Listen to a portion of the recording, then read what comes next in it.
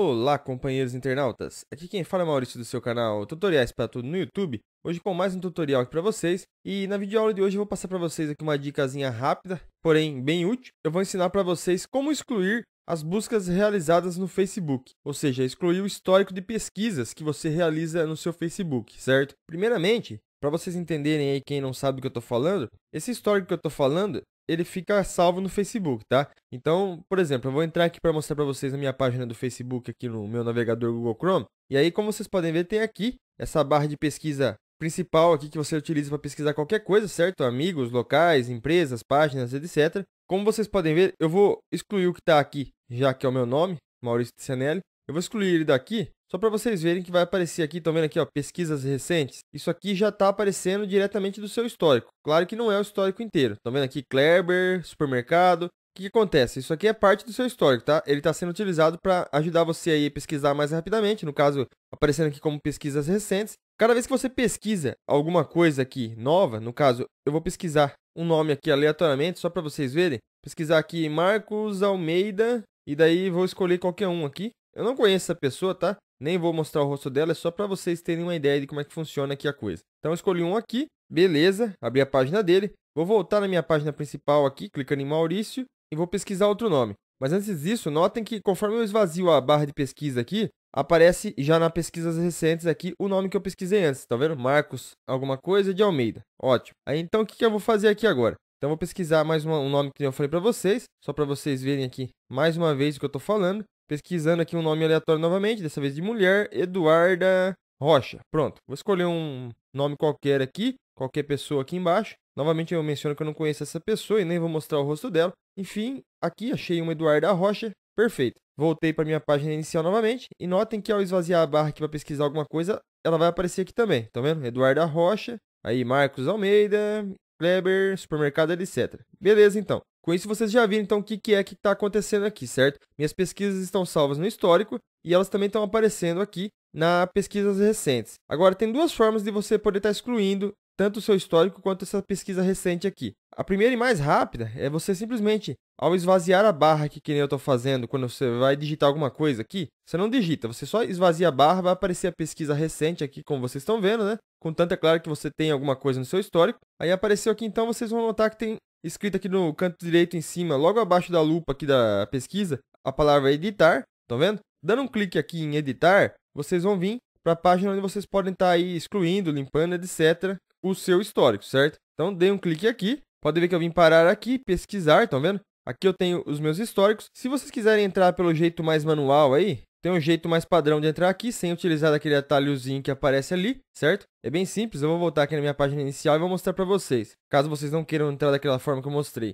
Você simplesmente vai clicar aqui em cima, nessa setinha para baixo, aqui do lado do cadeado, aqui em cima, estão vendo? Onde abre esse menu aqui do Facebook. Aqui nesse menu, vocês vão clicar em registro de atividades, estão vendo aqui? Dando um clique aqui, vocês vão vir parar nessa página aqui. Aí aqui vocês vão notar que tem algumas separações aqui com vários tipos de coisas aqui para vocês estarem analisando. Notem que aqui tem as opções fotos, curtidas e comentários. Estão vendo aqui? Abaixo tem mais, estão vendo? Clicando aqui nesse mais, vocês vão abrir várias outras opções, dentre elas pesquisar. Estão vendo o desenho da lupa? Clicando aqui em pesquisar, vocês vêm parar nessa mesma tela de onde eu tinha vindo através do atalho ali primeiro, certo? Então, ok, uma vez aqui, Agora eu vou falar para vocês do histórico e por que vocês iriam estar tá querendo apagar ele, certo? No caso, como vocês podem ver, tem aqui os históricos do que eu realizei agora de pouco. Estão vendo aqui setembro de 2016? Aí notem que tem aqui os dias aqui embaixo, no caso hoje, estão vendo aqui? Notem que aqui aparece tudo. Você pesquisou Eduarda Rocha, 7 de setembro de 2016, às 10h27. Você pesquisou Marcos, etc, etc, 7 de setembro, horário, beleza. Maurício Tizianera aqui embaixo também, Kleber, enfim. Dá para ver todos os dados de quem você pesquisou, o dia e o horário que você pesquisou, certo? E notem que não é só desse mês aqui não, tá? Se você for descendo aqui, tem agosto 2016, estão vendo aqui, ó? Pesquisou esse I ali. É... Você pesquisou supermercado aqui também, 24 de agosto. Vocês vão notar que não tem nada aqui, porque eu excluo o meu histórico, tá? Eu só deixei esses itens aqui para vocês poderem estar tá entendendo do que eu estou falando. Mas no histórico de vocês aí que vocês não excluem, provavelmente vai estar tá gigantesco isso aqui, tá? Vai ter uma lista quase infinita aqui. E notem que vocês podem estar tá descendo e vendo desde quando você tem o Facebook, tá? Então, se você nunca excluiu, seu histórico vai estar tá aqui desde quando você criou o seu Facebook. Ou seja, se você esqueceu o seu Facebook aberto, ou se alguém descobrir a senha dele, ela pode simplesmente estar tá vendo tudo que você pesquisou durante todo o seu período aqui de utilização do Facebook. Logo, pode estar tá descobrindo muito da sua vida, certo? Pode estar tá descobrindo bastante informação da sua vida com isso, o que não é legal, correto? Se você também, por acaso aí é alguém que gosta de procurar muito sobre a vida dos outros também, vamos supor aí um exemplo, você gosta muito de pesquisar sobre a vida dos outros, mas você não quer de repente que alguém na sua casa descubra aí o que você pesquisa, também é interessante você excluir, certo? Porque senão dá para ver certinho o que você pesquisou, ok? O que, apesar de não querer dizer nada, pode criar conflitos, né? Então é interessante você excluir o histórico. Nunca é legal você deixar tanta informação assim à mercê de alguém poder de repente conseguir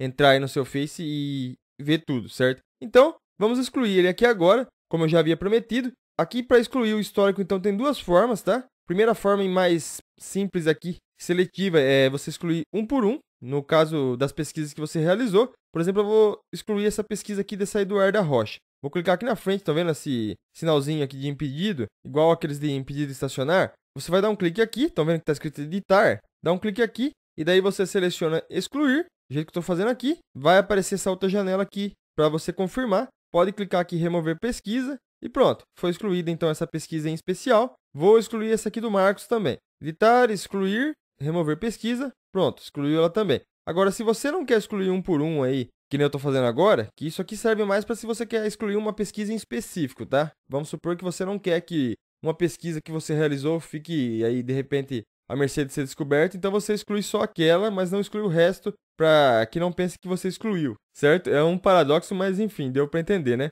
Então você pode estar tá usando essa pesquisa seletiva. Agora, se você quer simplesmente excluir tudo por questão de privacidade mesmo, então vem aqui em cima em excluir buscas. Estão vendo aqui? Dá um clique, excluir buscas, vai aparecer essa janela aqui, e aqui você pode clicar em excluir buscas, tá vendo? Aqui, novamente, clica aqui, então, excluir buscas. Com isso, você vai apagar todo o histórico de todo o tempo que você esteve no Facebook, certo? Então, pensem bem se é isso mesmo que vocês querem fazer. Eu sei que é isso que eu quero fazer, eu quero apagar todo o histórico para não ficar aí à mercê de ninguém poder descobrir. Então, dê um clique aqui em excluir buscas e com isso, limpei todo aqui meu histórico, tá zerado, não tem mais nada aqui. Também não vai aparecer mais aquele auxílio de pesquisa lá na hora que eu digitar alguma coisa, certo? Não vai aparecer mais ninguém ali. Então é isso, tá vendo? Limpei tudo aqui. Tá zerado mesmo, podem ver aqui todos os anos, 2016, 2015, 2014, 2013, tudo zeradinho. Agora, claro que se você pesquisar mais alguma coisa, ela vai vir parar aqui também, certo? Não tem como você impedir que isso aconteça. Então, se você